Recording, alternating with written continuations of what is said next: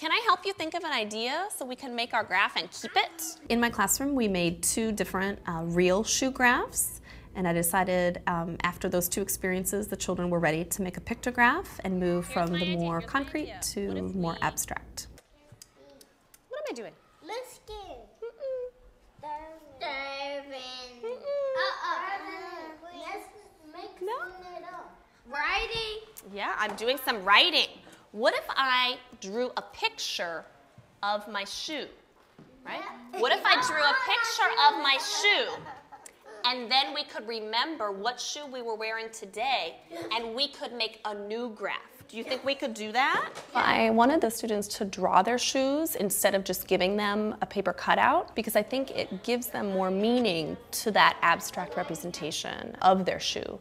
So when we make the physical graph, it's easy for the children to see their shoe on the graph. It's physically there. You know, they're, they're uh, holding it in their hand, it's concrete. When you start to take a step away from that to be more abstract, um, the meaning can get lost in children that are, that are at this age. So by having them draw their own shoe gives them more ownership. I also think that by drawing uh, the shoe, it helps them to remember what, how they sorted their shoe in the first place, what the attribute was that they were sorting it in. Because when they're drawing it, you know, I ask them, make sure that you draw your straps, you know, make sure that you draw your strings to help them remember that that's how we had decided to sort the information. Do you see where it says zippers? Okay.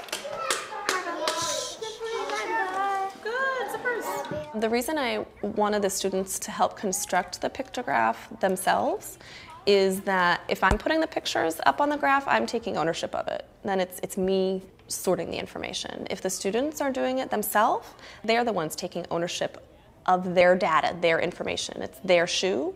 And if they're the ones putting it on the graph, then it helps them to remember again that this picture represents their shoe.